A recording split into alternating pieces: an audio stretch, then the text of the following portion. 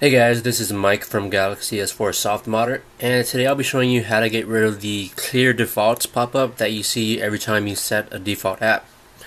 So for particular actions within the Android operating system, you can set a default app for that action. Um, for example, navigating to a Yelp listing, uh, that's an action that you can set a default app to.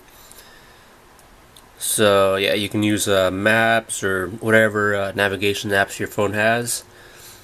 And uh, so yeah, when you set a default app, you get this pop-up. Uh, just tells you uh, how to reset the default, your settings, applications manager, all, then find the app and press clear defaults. But if you've used Android enough, you probably know that process by heart already, so this pop-up is just unnecessary. So I'll show you how to disable it. You're gonna need a rooted phone with the Xposed framework on it. Uh, you can check out my guide on uh, installing the Xposed framework over at Galaxy S4 Softmodder.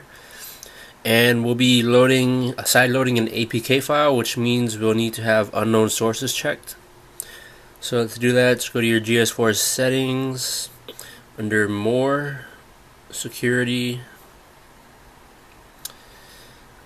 And under device administration, make sure unknown sources is checked.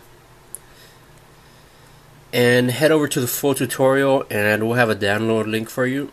It's an Xposed module uh, developed by MohammadAG from XDA. Just go ahead and download it onto your phone. Right, should just take a few seconds.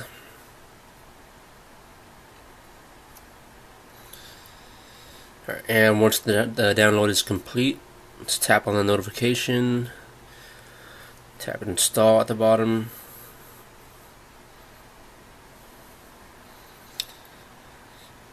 And you can see we got an Xposed uh, notification. It's telling you that the module is not activated yet. So we'll go ahead and tap on the notification. Or from Xposed um, main menu just tap on modules to get there. So just check the box and then you have to reboot for uh, the module to take effect. Once your phone's rebooted, the module should be in effect. So let's go ahead and test it out with what we were doing earlier. Uh, so let's get directions uh, to a Yelp listing complete action using maps and always. Right, and as you can see, the uh, clear default notification didn't pop up, and you no longer have to deal with it. So hope you guys found this useful. Uh, don't forget to like, comment, and subscribe, and check out the full tutorial at Galaxy S4 Softmodder.